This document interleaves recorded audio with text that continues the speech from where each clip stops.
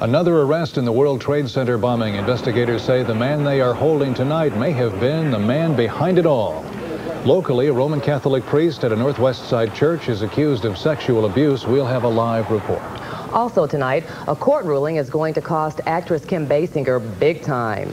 In sports, the White Sox make their decision on the fate of Bo Jackson and huge penalties levied stemming from an NBA fight. Details on these stories and a great deal more coming right up on the 9 o'clock news.